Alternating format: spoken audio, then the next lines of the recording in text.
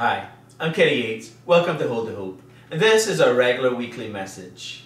And we're continuing our series entitled Faith Revisited. And this is the fifth message in this series. So today, our message is entitled The Diligent Seekers. This is part five. Turn with me, please, to our scripture, Luke chapter 8, verse 4 through 8.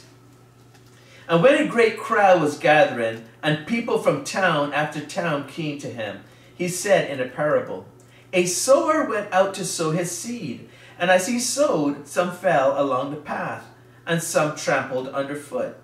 And the birds of the air devoured it, and some fell on the rock. As it grew up, it withered away, because it had no moisture. And some fell among the thorns, and the thorns grew up with it, and choked it and some fell into good soil and grew and yielded a hundredfold. As he said these things, he called out, Who has ears to hear? Let him hear. Jesus was on his world tour, so to speak. He was going through their villages and cities, proclaiming and bringing the good news of the kingdom of God. Luke chapter 8 is the last part of verse 1. The people, hearing all the wonderful things that Jesus was saying and doing, decided to converge on that city or that village where Jesus was preaching. It was probably a pre, uh, uh, a fishing village because it seemed to have been on the coast. Anyway, Jesus wasn't just proclaiming the good news, but he was bringing the good news as well. That, that's what the scripture tells us. Remember what Paul said in 1 Corinthians chapter 4, verse 20. We're going to read it from the NIV. For the kingdom of God is not a matter of talk, but of power. So Jesus wasn't just talking. He wasn't just proclaiming. He was acting in power, thus leaving us an example. And Paul got that example. Now, we, his followers, have to get that example as well, the example that he left. That we not only proclaim, we not only proclaim, but we bring the good news as well. We have some type of action. See, we must understand that we must combine what we hear with our faith to produce action. But first, we have to hear. When Jesus saw all the people coming from these cities and surrounding villages gathering together to hear the word of God, he lifted up his voice and told him that parable that we just read. This tells me that that portion of scripture is very important because Jesus waited until all the people from the surrounding villages and the surrounding cities had, had converged on that little town where he, he was at. And because he wanted the maximum amount of people to hear this parable. And even more, that parable is recorded in all three of the synoptic gospels Matthew, Mark, and Luke. Matthew said, Matthew chapter 13, verse 1 through 3 says, That same day Jesus went out of the house and sat beside the sea. And great crowds gathered about him, so that he got into a boat and sat down, and the whole crowd stood on the beach. And he told them many things in parables, saying, A sower went out to sow. Mark likewise said in Mark chapter 4, verse 1 through 3, Again, he began to teach beside the sea, and a very large crowd gathered about him so that he got into a boat and sat in it on the sea. And the whole crowd was beside the sea on the land.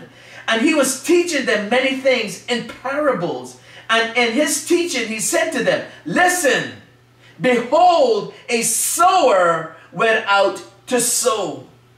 So when this huge crowd had gathered, Jesus opened up his mouth and he began teaching the crowd about what? About faith.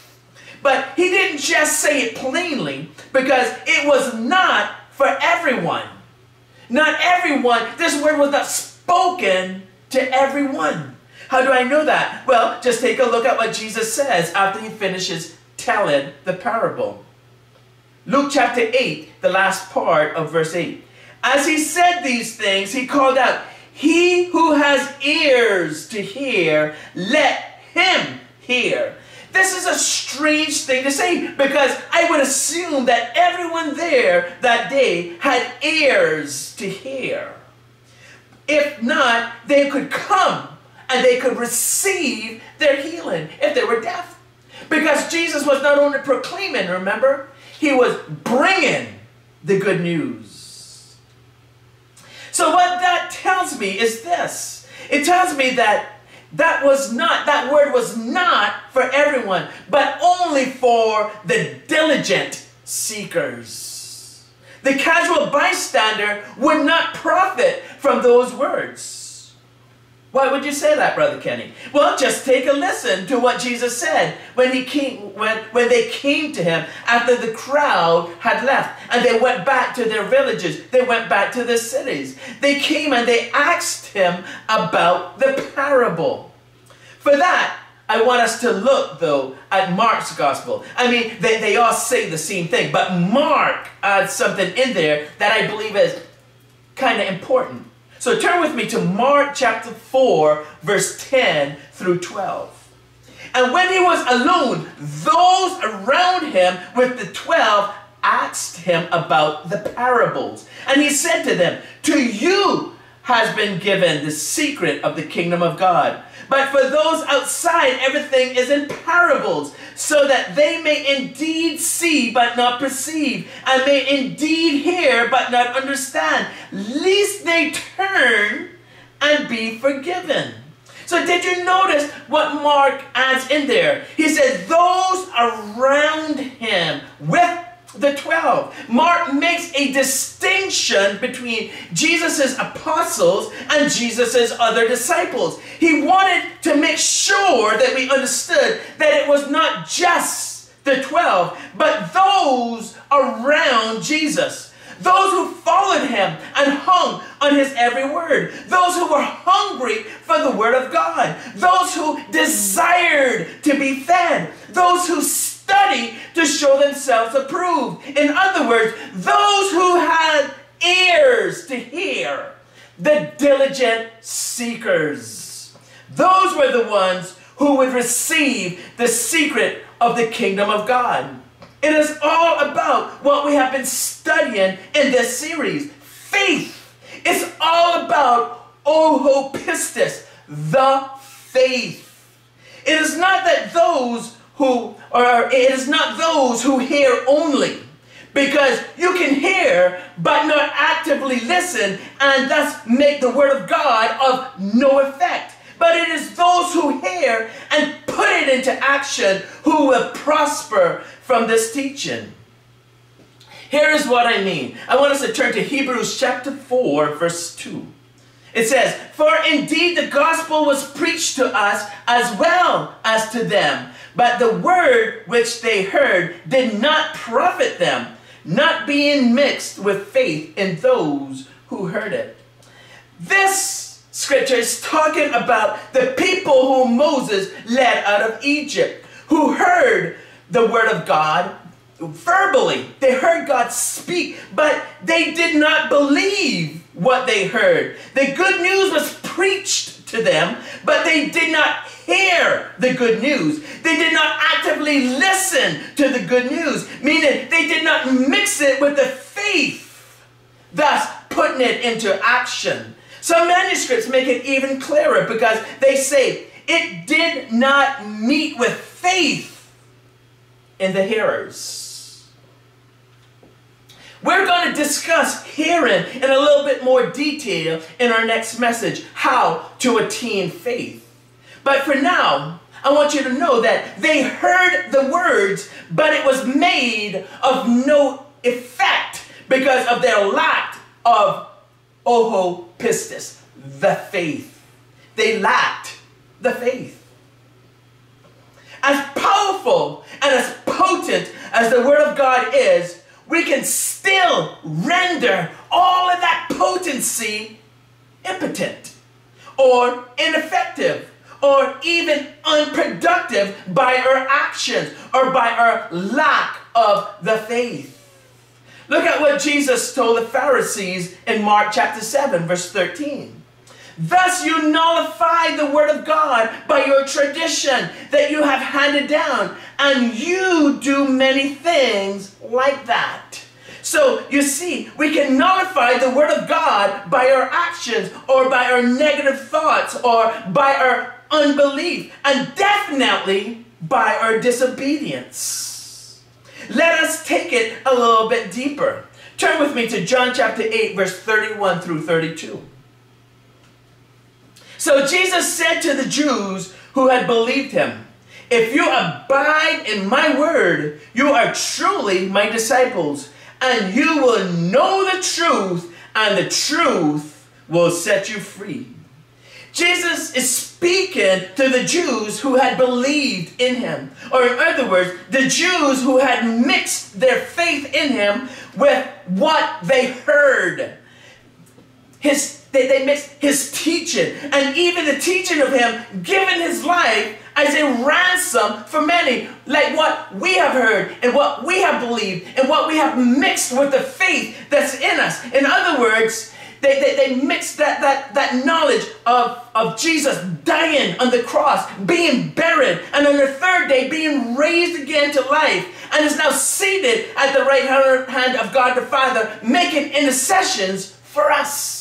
Day and night, our Lord and Savior, Jesus Christ, is making intercessions for us. He does not leave us like orphans. These are they who will know the truth, and the truth will set them free. Now, I want you to turn with me to John chapter 14, verse 6, and let us see what this truth is that will set us free. John chapter 14, verse 6. Jesus said to him, I am the way and the truth and the life. No one comes to the Father except through me. So Jesus is the truth, the truth that sets us free. Without that oh pistis, the truth in Jesus, which requires a personal relationship with Him, we are still bound up in our sins. Let us turn our attention now back to the sower. There are four types of soil, or four types of hearers in this parable. Let us see how Jesus interprets each one. First, we're going to look at the first type of hearer. He's found in verse 5. A sower went out to sow his seed, and as he sowed, some fell along the path and was trampled underfoot, and the birds of the air devoured it. Now, let us skip down to Jesus' interpretation of his own parable. Look at Luke chapter 8, verse 11 through 12. Now, the parable is this the seed is the word of God. The ones along the path are those who have heard. Then the devil comes and takes away the word from their hearts so that they may not believe and be saved. Jesus is likening those people who will hear the word of God but not mix it with the faith, the oho pistis, the faith. Those who will not mix the hearing of the, uh, of the word with with what with, with the faith will not be saved. If you don't mix what you hear with faith, you will not be saved. He calls what they did trampling underfoot the word of God. These are the ones that say God is gay, or God is a lesbian, or God is trans, God is male, God is female, God is you, God is me. This is blasphemous. This is heresy in the highest. The devil has stolen the truth right out of their hearts, and they have become deceived in their own minds. This is those who trample underfoot the word of God. Jesus is the word of God. And Hebrews ask this question. Hebrews chapter 10, verse 29. How much worse punishment do you think will be deserved by those who has trampled underfoot the Son of God, and has profaned the blood of the covenant by which he was sanctified, and has outraged the Spirit of grace. I figure it is a lot worse punishment for them that trample underfoot the Son of God and profane his precious and holy blood. Let us look at the second hearer. He is found in Luke chapter 8, verse 6. And some fell on the rock, and as it grew up, it withered away because it had no moisture. Now, Jesus' interpretation. Luke chapter 8, verse 13. And the ones on the rock are those who, when they hear the word, receive it with joy, but these have no root. They believe for a while, and in time of testing, fall away. These hearers did not ground themselves in ohopistis, the faith. They were shallow. These are the ones who come to church and listen, but are not active in church. They don't do any type of service in church. No one at their work even know that they are Christians. They don't pray. They don't read their Bibles. They don't study their Bibles. They definitely don't witness and they don't even pay their tithes. These are what we call Sunday morning Christians. So when hard times come, they fall away because they don't have a real relationship with Jesus, the Son of God. Let us now look at the third type of hearers. Luke chapter 8, verse 7. And some fell among thorns, and the thorns grew up with it and choked it. Now the interpretation, Luke chapter 8, verse 14. And as for what fell among the thorns, there are those who hear, but as they go on their way, they are choked by the cares and riches and pleasures of life, and their fruit does not mature. Notice that these hearers bear fruit. But the fruits don't develop. They do not mature because they are choked before they can come to maturity. These hearers are those who accept Jesus Christ as Lord and Savior. They begin to testify. They tell the truth about what they have learned. They tell the truth about what they have believed. They even get baptized. They are boldly striking out for Jesus. But because of political correctness, and the pressures that comes with serving Jesus, they fall away. They apologize for being baptized in the Jordan River. They apologize for being so vocal about about the things of God and they're afraid to lose their careers because their careers may suffer because they identify with the things of Jesus. They identify with truth. So they apologize for it because they do not want to lose the leading roles that they would probably get. But really, as Christians, they shouldn't even be taking that role in the first place. But anyway, they are afraid to lose their fame. They're afraid to lose their fortune. They're afraid to lose their jobs for the sake of Jesus Christ and for the sake of the gospel. These are those who get caught up in the spread of racism, advocating social justice instead of promoting biblical justice. These are the hearers who are after hearing, lead others astray with their so-called progressiveness, embracing things that God calls abominations and accepting practices that are not natural. In fact, some of those things are against nature themselves, yet they promote it as something wonderful, something special, and something beautiful. Spreading lies that God accepts any and everything, and all roads lead to God.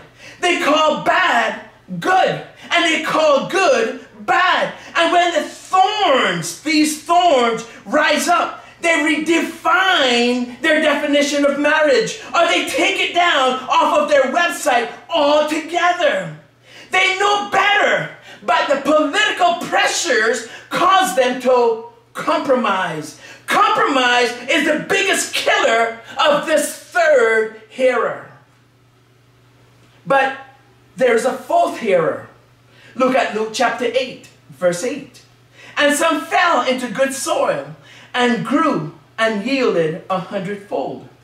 So, what is Jesus' interpretation of this fourth hearer? Luke chapter 8, verse 15. As for that in the good soil, they are those who, hearing the word, hold it fast in an honest and good heart, and bear fruit with patience. These are the true Christians that are persecuted for their beliefs. These are those who bear lasting fruit. They're persecuted by the left. They're persecuted by the right. They're even persecuted by the church because they believe wholeheartedly in the inerrant, indivisible logos of God. They believe in thus saith the Lord. So if God said it, I can have it. If God said it, He told me I can do it, I can do it. I believe what God said I should believe. And that is what I believe. This is those who who, who after hearing mix what they have heard with oh pistis, the faith. They put they do not put family first. They do not put country first. They do not put culture first. They do not put race first. They do not put job first. They do not put finances first. They do not put anything before Jesus and His Word because it's all about Jesus and Him crucified and Him raised to life again for the forgiveness of all of our sins. After Jesus spoke the parable about the sower, this is what Mark says. Mark chapter 4, verse 33 through 34. With many such parables, he spoke the word to them as they were able to hear it. He did not speak to them without a parable, but privately to his own disciples, he explained everything. So again, we have the diligent seekers getting even more. So Jesus spoke to them in parables as much as they were able to hear or as much as they could understand at that time. But to those who received the secret of the kingdom, the diligent seekers, he explained everything. There was no limit for the diligent seekers, those who hunger and thirst after the things of God, for they will be filled. We have to understand that it is not enough just to hear, but we must couple that hearing with oh, oho pistis, the faith. When that happens, then we must put it into action. Because faith without action is dead. We cannot let the word of God, either logos or rhema, go void by way of doubt. It, we cannot let it go go, go void because of disobedience or slackness. That amounts to spiritual laziness. Faith demands action. Let me say that again. Faith demands action. Look at, at how Jesus explains it in Luke chapter 8, verse 16 through 18. No one, after lighting a lamp, covers it with a jar or puts it under a bed, but puts it on a stand so that those who enter may see the light. For nothing is hidden that will not be made manifest, nor is anything secret that will not be known and come to light. Look at verse 18. Take care then how you hear. For to the one who has, more will be given, and from the one who has not, even what he thinks that he has will be taken away. No one, after being enlightened about the things of God, hides his enlightenment. Peter and John puts it this way, Acts chapter 2, verse 20. As for us, we cannot help speaking about what we have seen and heard. That is what Jesus expects for us to, to, to so let our light shine. Let our light so shine that others may see. It's like our last message, hidden faith. If we try to stick our lamp under the bed or try to hide it under a bowl or try to hide it in the ground. It would be like the servant who hid his, his talent in the ground and see what happened to him. He did not come to a good end. Now I want you to look at verse 18. This is very interesting. It confirms a message. It says, verse 18, Take care then how you hear, for to the one who has, more will be given, and from the one who has not, even what he thinks that he has will be taken away. It says, Take care then how you hear. There is a right way and a wrong way to hear. And it is critical that you get that right because it is critical, it's crucial to your salvation. But we're going to cover that in more detail in our next message, How to Attain Faith. We will also uh, address verse 24 in that message as well. But here is the takeaway for this message. If you keep your faith hidden, in other words, if you do not mix what you hear with oopistos, the faith, and have that result in action, you will be condemned just as the lazy servant in the parable of the talents. Each one of us is given a measure of faith. Each one of us must be the diligent seeker or a diligent seeker. We must let our light so shine so that the whole world will know and will have the opportunity to know as well and come to repentance and, and receive that saving knowledge of who Jesus Christ is. He is the salvation. He is the Savior of the whole world, at least to those whomsoever will. So that brings me to my usual question. Do you know Jesus as your Lord and Savior? Are your sins covered by the blood of Jesus? If so, are you letting your light shine that others are seeing Jesus in you? Are you being a witness for Him? If you have answered no to any of those questions, there is a way to make it right. All you have to do is to ask for whomsoever will. If you ask, you will receive. How, how do I do that, Brother Kenny? Well, say this prayer with me. Mean it with your heart. And the prayer of faith will save you. So, if you want to make Jesus your Lord and Savior, say this prayer and mean it. Repeat with me. Heavenly Father, forgive me of my sins. I want to have that faith that Brother Kenny preached about. I want to couple it with what I hear the logos of God. I want to couple it that I may have action, that I might put my faith into action. Thank you, Jesus, for giving me life life eternal.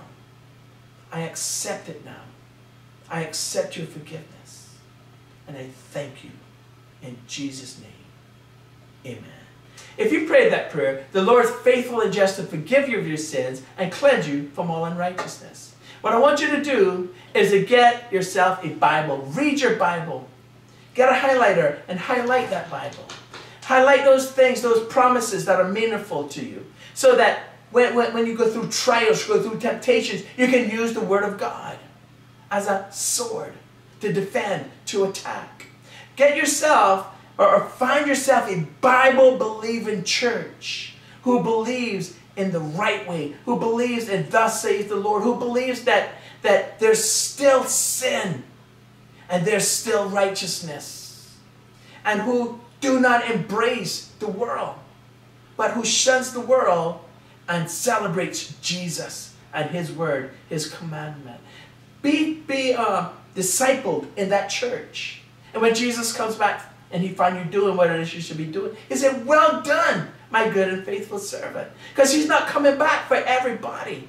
Remember, it's those who hear and who mix it with faith and who puts it into action that he's coming back for. May the Lord bless you. May he strengthen you. May he give you the faith to do great exploits for him. Thank you so much for joining us. I'm Kenny Yates. This is Hold To Hope. Be blessed and stay blessed.